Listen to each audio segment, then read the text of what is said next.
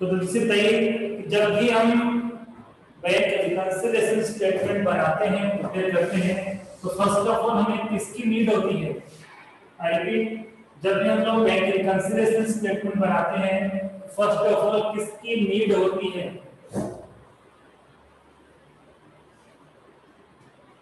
और good good always किसकी need होती है? बैंक रिकंसिलिएशन स्टेटमेंट बनाते पहले, सबसे हमें पहले बैलेंस की नीड होती है। तो हम बना रहे हैं बैंक रिकंसिलिएशन स्टेटमेंट आप शॉर्ट में मत लिखना।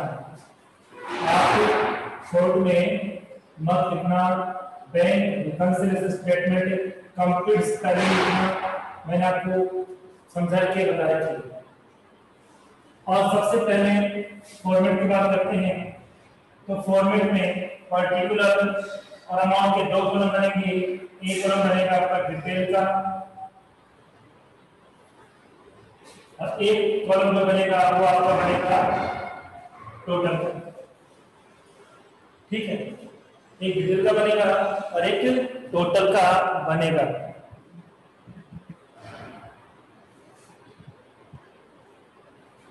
ओके तो देखिए, सबसे पहले बैलेंस चेक करना है। तो आपने क्वेश्चन पढ़ा है। आप बताओ कौन सा बैलेंस दे रहे हैं और किसका दे है? डेबिट बैलेंस है या क्रेडिट बैलेंस है? और कैश बुक का है या पासबुक का है? जब इसे देख के बताइए। डेबिट बैलेंस है गुड किसका है? कैश बुक का है या पासबुक का है?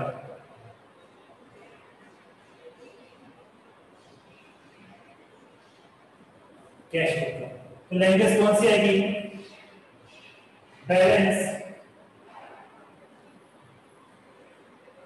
कौन सा balance D R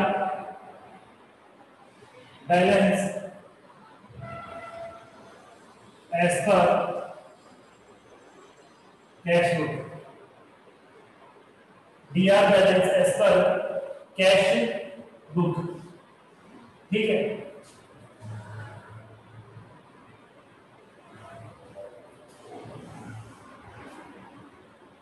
अब देखिए। रूल्स कौन से अप्लाई होंगे बताइए। रूल्स कौन से अप्लाई होंगे? पॉजिटिव रूल अप्लाई होंगे या फिर नेगेटिव रूल अप्लाई होंगे? पॉजिटिव रूल अप्लाई होंगे या फिर नेगेटिव रूल अप्लाई होंगे? Good general rules I mean positive rules apply होंगे. गुड तो कुछ ट्रांजैक्शंस हमें ऐड करने हैं और कुछ ट्रांजेक्शन हमें लेस करने हैं। अब वन बाय वन देखते हैं कि किसको हमें ऐड करना है और किसको हमें लेस करना है। तो फ़र्स्ट ट्रांजेक्शन क्या है? फ़र्स्ट ट्रांजेक्शन क्या है?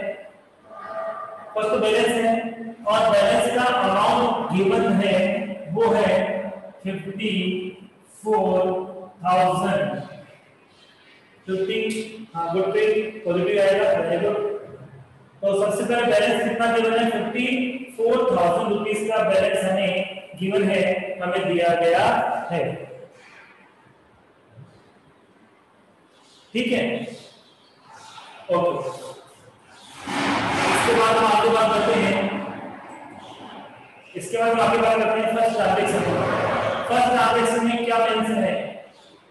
फ़र्स्ट ट्रांजैक्शन क्या मेंशन है rupees headed bank incidental charges debited to IL and company account, which is not recorded in cash. Bank ने हंड्रेड रुपीज़ चार्ज कर लिए हैं. बैंक ने हंड्रेड रुपीज़ चार्ज कर लिए हैं. तो सबसे पहले बताइए कि इससे बैंक बैलेंस उतना ही रहेगा या बैंक का बैलेंस कम हो जाएगा। हमारा जो बैंक में अमाउंट डिपॉजिट था, वो उतना ही रहेगा या कम हो जाएगा? बताइए। क्योंकि बैंक ने चार्ज किया और हमारे अकाउंट से कट कर दिया। सभी रिप्लाई करिए? हाँ लेस जाएगा एब्सोल्युटली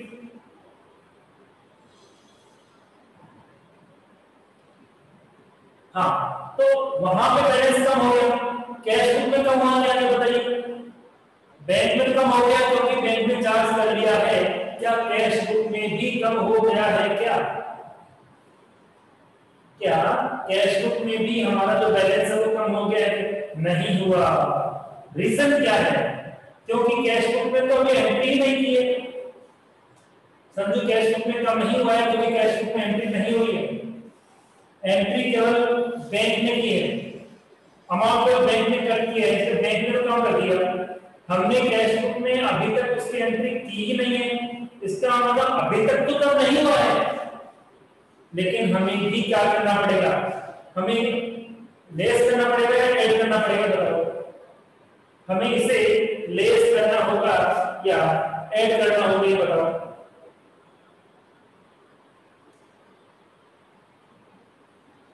एब्सोल्युटली लेस करना होगा। रीजन बैंक में बैलेंस कम हो गया। बैंक में हमारा अमाउंट कम हो गया तो पॉजिटिव रूल्स के अकॉर्डिंग हमें भी क्या करना होगा? हमें भी कम करना होगा। इसमें हम क्या करेंगे? लेस लिखेंगे। Bank charges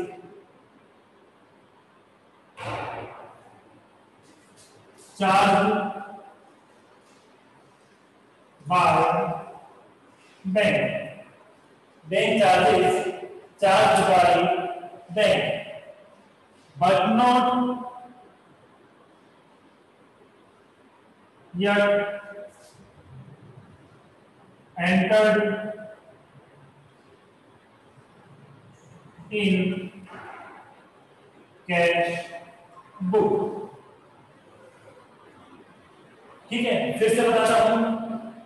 बैंक को कोई भी चार्ज हमसे लेना होता है तो क्या बैंक के एम्प्लॉइज हमारे घर पे आते हैं? नहीं आते। हैं वो क्या करते हैं?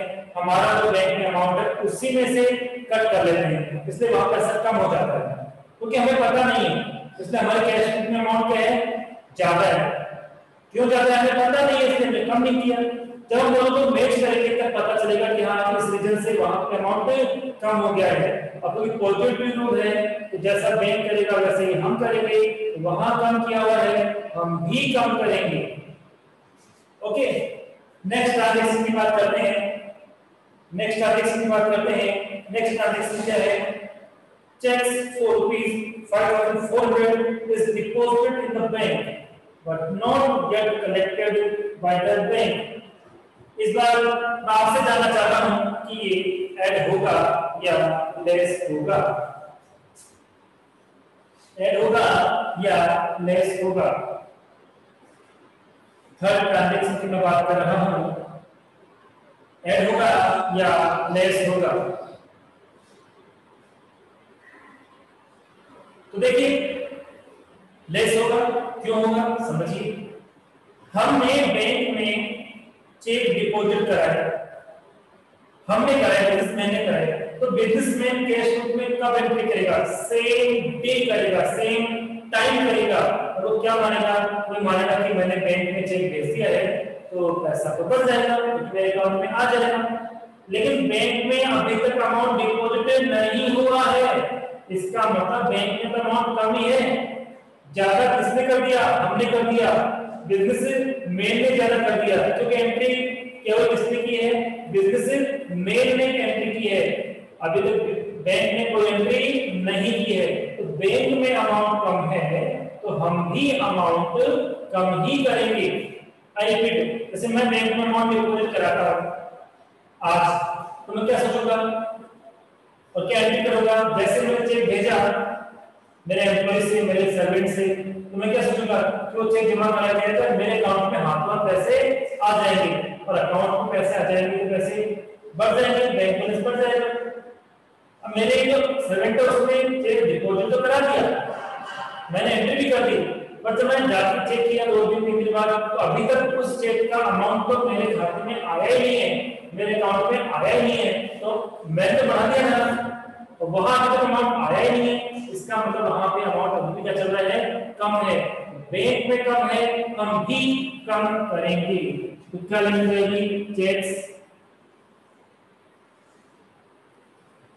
issued. Sorry. Check. Deposited into bank but not yet collected by bank और अमाउंट था फाइव थाउज़ेंड फोर हंड्रेड का अमाउंट कितने का था? फाइव थाउज़ेंड फोर हंड्रेड का अमाउंट क्या यहाँ तक समझ में आ गया है जल्दी बताइए? यहाँ तक समझ में आ गया है जल्दी बताइए। वेरी गुड वेरी गुड सभी अच्छे बच्चे हैं। एक ही बात रखनी है कि बैंक में अमाउंट कम हो गया है या कम है तो हमें भी कम कर देना है। और बैंक में अमाउंट बैलेंस ज़्यादा है तो हमें भी ज़्यादा कर देना है।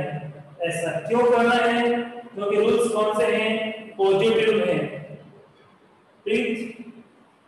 क्वेश्चन मान के सॉरी ऋतिक क्वेश्चन मान के मत समझो।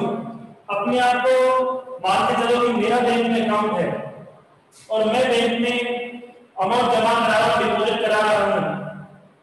ठीक है? तो तुम कब एंट्री करोगे? तुम तो से एंट्री करोगे कि हाँ मैंने बैंक में चेक डिपॉजिट कराया है तो वहाँ मेरा बैलेंस क्या है? सपोज़ सपोज़ पहले कितना था टेन था ठीक है कॉमन सेंस है ये। चैप्टर में ये कॉमन सेंस है ना लो सपोज़ यहाँ हूँ इसलिए बता रहा हूँ।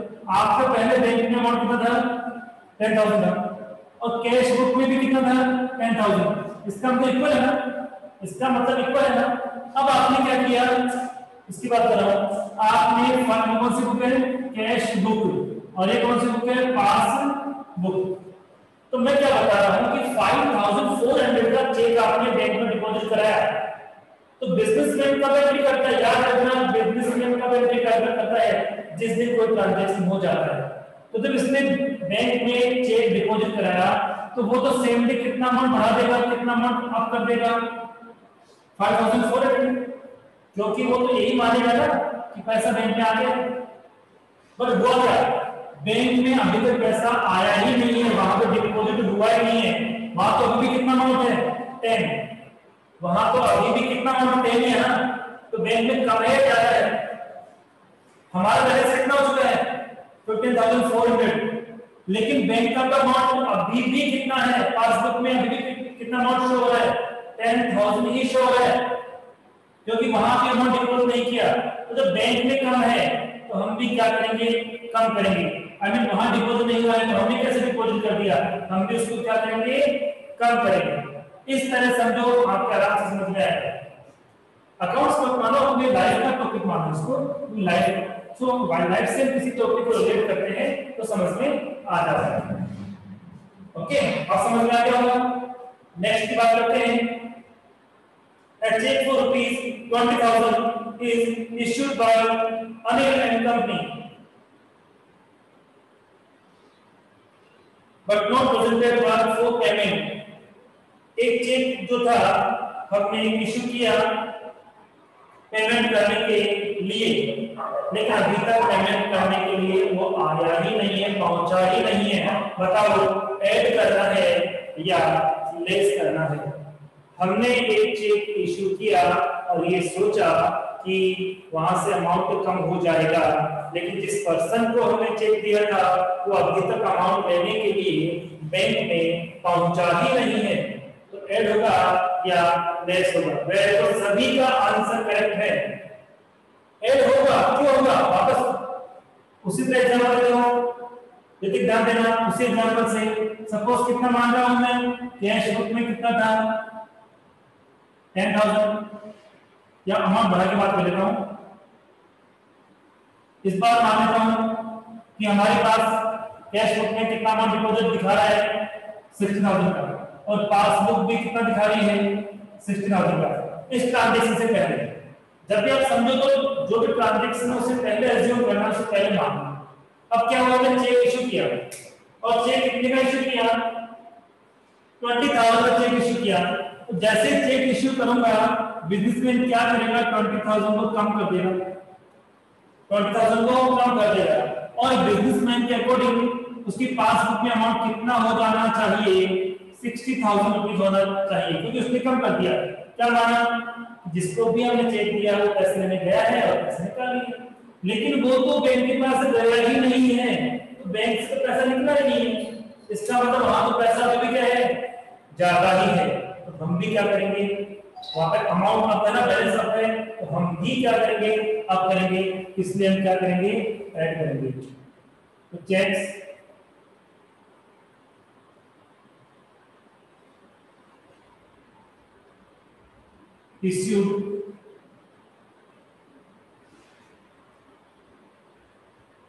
but not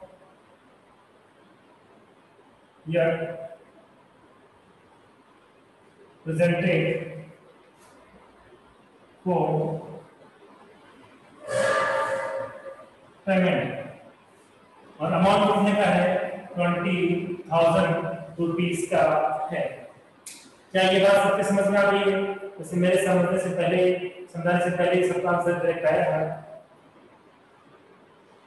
इस तरह से ये क्वेश्चन पूरा हो वेरी गुड वेरी गुड अब करना क्या? हम लाइन बनाएँगे? एक ही अमाउंट है। एक ही अमाउंट है तो यही आंसर आ जाएगा तो पहले से 54 का अमाउंट है हमारे पास और 24 आ गया तो ये तो कितना हो गया? 74,000 हो गया। कितना हो गया? 74,000 इधर कितना था? 100 पहले है फाइव थाउज़ेंड फोर हंड्रेड बाद में है ये कितना हो गया? ये कितना हो गया बताइए।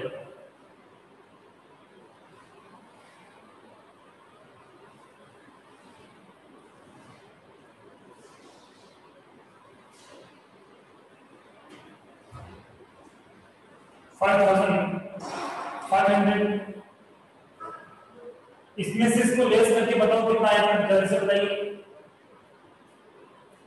इसमें से इसको ले very good very good very good very good six thousand sorry sixty eight thousand five hundred this is your answer but I want to know, which heading? We can use for this amount. Which heading we can use for this amount? इस amount के लिए कौन सी heading use करनी है नीचे?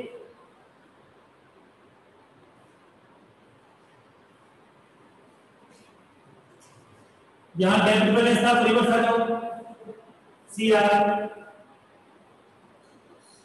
Balance of किसका absolutely सही answer दिया आपने पास बुक इस तरह से आपका आंसर कंप्लीट हुआ। सबके समझ में आ गया? तो छोटा कल वाले क्वेश्चन से भी इजी और छोटा था अब यहाँ पे मैं और आपको बात बताता हूँ कि वैसे मैंने आपको ये बताया है कि डेबिट है तो नीचे क्रेडिट आएगा तो ये करेक्ट भी है। बट कई बार इसका एक्सेप्शन भी है अपवाद भी है कि ऊपर डेबिट है नीचे क्रेडिट आता है। बुक तो ऑलवेज अपोजिट होगी। बुक ऑलवेज अपोजिट होगी। ऊपर कैश बुक है तो नीचे पासबुक आएगा और ऊपर पासबुक है तो नीचे कैश बुक आएगा बट कई बार ऊपर डेबिट है तो नीचे क्रेडिट आ जाता है, वो कब आता है? ध्यान सुनिए। यहाँ कितना था 74 नीचे कितना होता? एट्टी थाउज़ेंड होता। तो प्लस में आता माइनस में आता। बताइए। ऊपर सेवेंटी फोर है, यहाँ पे टोटल हम यूज़ करते हो माइनस वाला। तो एट्टी थाउज़ेंड होगा तो प्लस में होता है माइनस में होता। माइनस में होता ना तो क्या होता है? माइनस में होगा तो फिर डीआर तो रह जाएगा और सीआर तो सीआर ही रह जाएगा प्लस में आएगा तब नहीं। माइनस में आएगा तो ऊपर भी आएगा तो नीचे भी आएगा ऊपर सी आएगा नीचे भी सी आर होगा प्लस में आएगा तो रिवर्स होगा। क्या समझ में आ गया?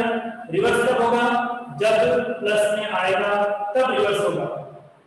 माइनस में है तो ऊपर डेबिट बैलेंस है तो नीचे भी डेबिट बैलेंस ही रहेगा। क्या आपकी समझ में आ गया है? एग्ज़ाम्पल टू हमने कंप्लीट कर लिए हैं। एग्ज़ाम्पल नेक्स्ट की ओर बात करते हैं।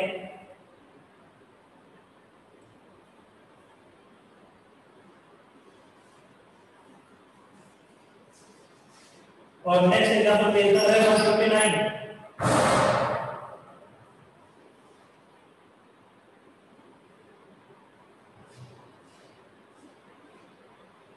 और इस बार हमें बैलेंस किसका दिया हुआ है बताइए। इस बार हमें किसका बैलेंस क्वेश्चन में गिवन है दिया गया है? कैश बुक का दिया हुआ है या पासबुक का? एब्सोल्युटली पासबुक का। पर ये तो नहीं पता है कि डेबिट बैलेंस है या क्रेडिट बैलेंस है। बैलेंस तो बता दिया। हाँ बिल्कुल सही पासबुक का ही लेकिन उसको कौन सा बैलेंस मानोगे क्वेश्चन में तो बताया नहीं है कल आपको मैंने एक्सप्लेन किया था कि जब क्वेश्चन में आपको नहीं बताया जाता है तो किसका कौन सा बैलेंस मानते हैं?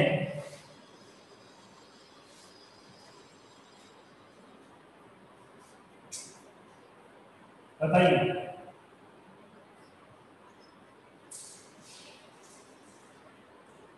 कौन सा बैलेंस मानेंगे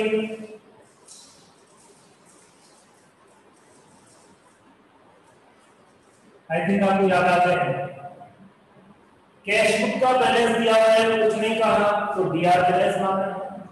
पासबुक का बैलेंस दिया हुआ है, कुछ नहीं कहा है तो सीआर बैलेंस मानना है।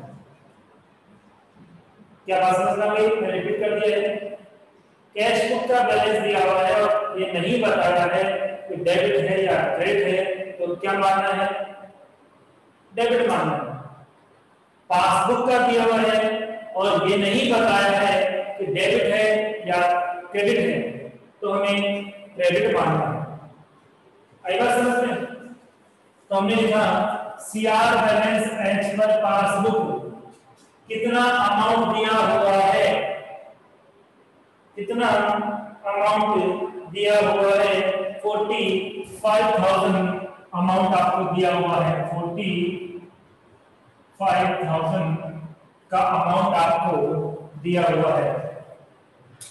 रूल्स कौन से हमें अप्लाई करने हैं? पॉजिटिव करने हैं या नेगेटिव रूल्स अप्लाई करने हैं? बताइए।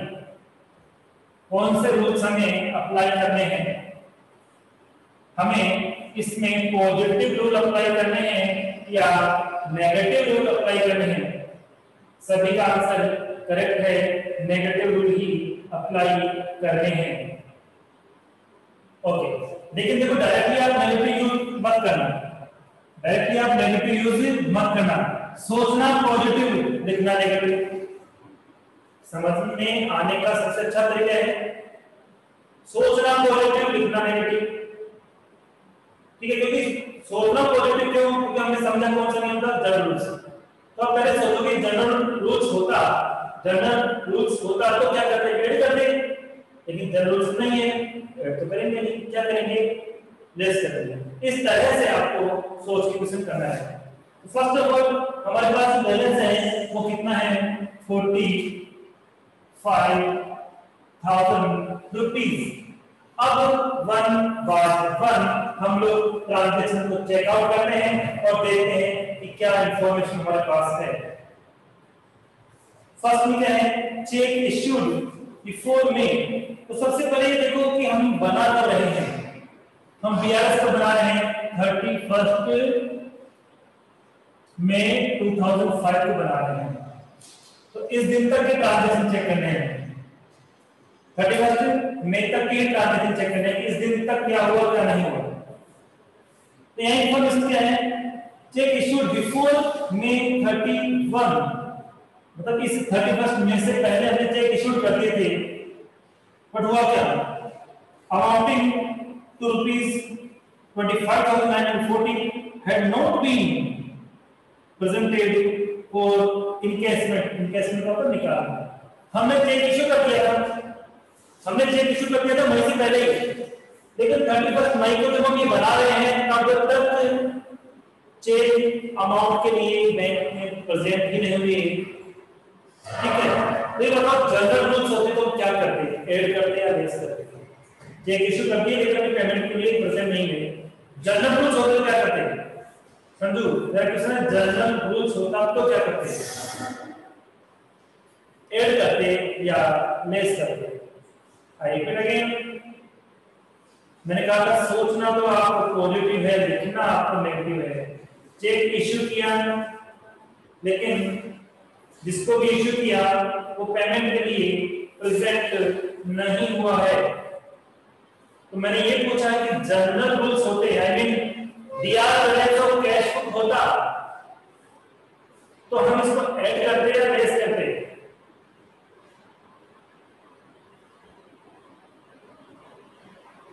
संजू ऐड करते या लेस करते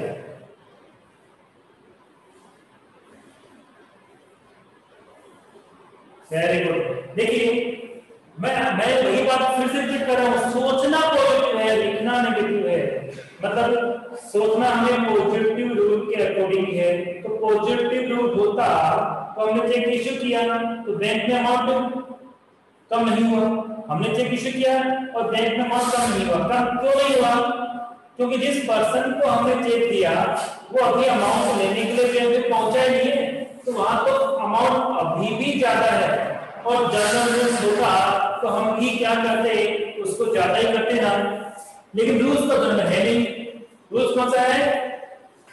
नेगेटिव इसलिए ऐड नहीं करेंगे। हम उसको करेंगे veg cheque issued but not yet presented for payment और जो अमाउंट है वो अमाउंट कितना है अमाउंट है तो यहाँ पे जो अमाउंट गिवन है वो twenty five thousand nine hundred forty twenty five thousand nine hundred forty rupees का अमाउंट है। नेक्स्ट ट्रांजेक्शन की बात करते हैं। Cheque issued sorry two cheque of rupees nine three thousand nine hundred two cheques of rupees three thousand nine hundred and 2350 were deposited into bank on 31st May, but the bank gave credit for the same in June. हमने दो cheque deposit करे bank में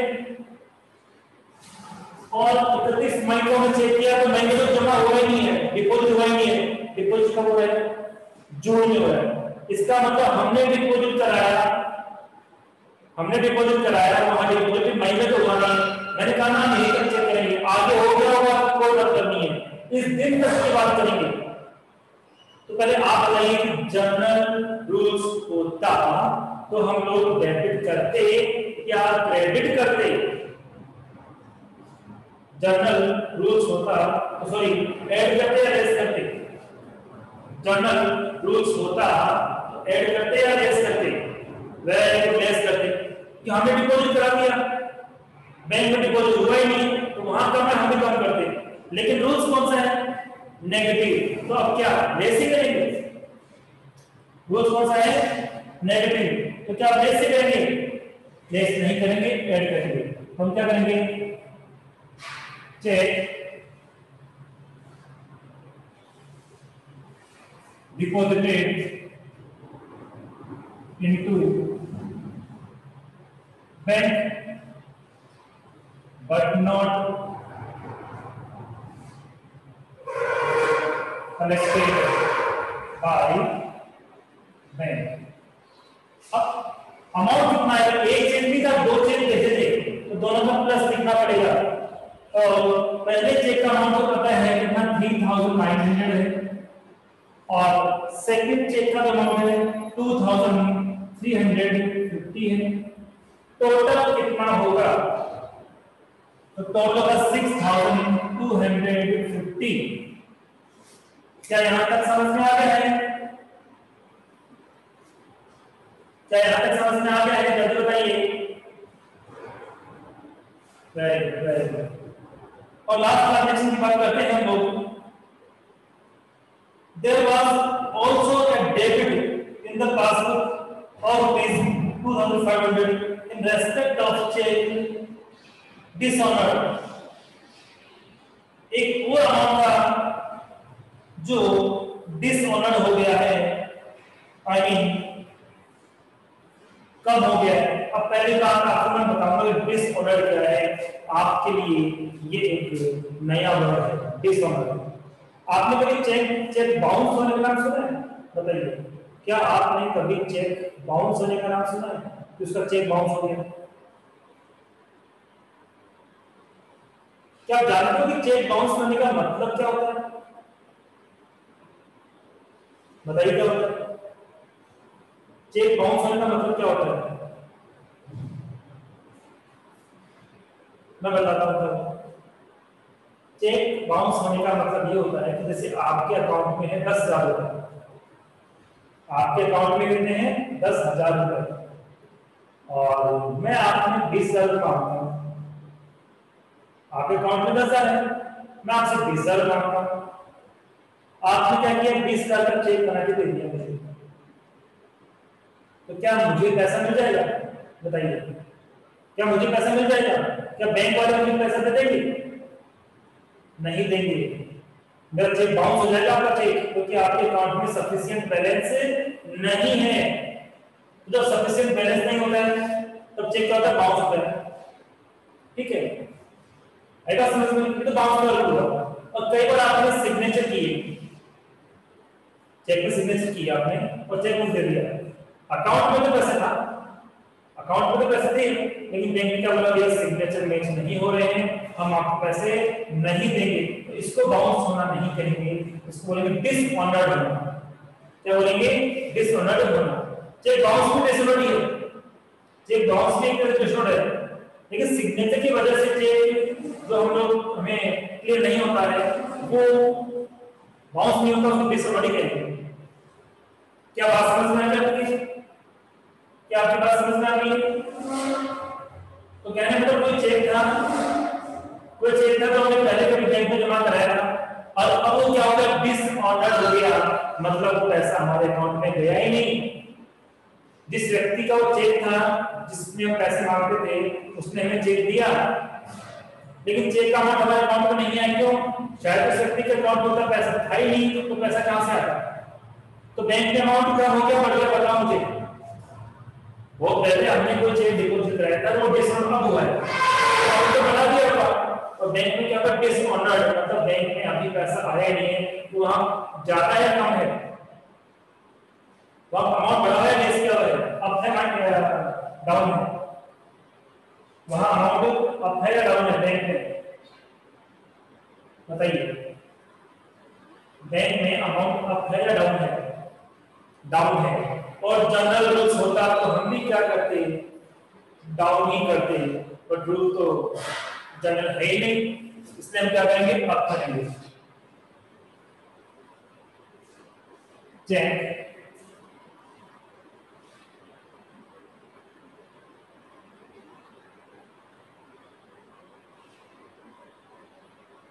dishonour cheque dishonour कितने का check था? 2500 का check ये तो क्या 8750 इसका तो एक ट्रांजेक्शन है? क्या समझ में आ गया? क्या आप बाकी सुना कंप्लीट करोगे? क्या आपके समझ में आ गया है? अब तो आपको केवल कैलकुलेशन करना है। तो डिसऑर्डर का मतलब क्या है? कि बैंक में पैसा नहीं आया है। तो हम हमें तो पता होता है। हमें नहीं पता होता कि चेक का पैसा अकाउंट में आया नहीं है, बाद में पता चला। तो बैंक तो डिपॉजिट करेगा नहीं, हमें पता नहीं था तो हमें बढ़ा दिया। तो इस तरह से ये क्वेश्चन हमारा कंप्लीट हो गया है। हमने वन टू थ्री तीनों कर लिए हैं। घर से इनको आप करना। मैंने तो आपको समझाया, आपने समझा है। अब रिटर्न में आप इनको क्वेश्चन को प्रैक्टिस करना। ओके बाकी जो डिस्कशन है, वो नेक्स्ट क्लास में की जाएगी। Okay thank you thank you so much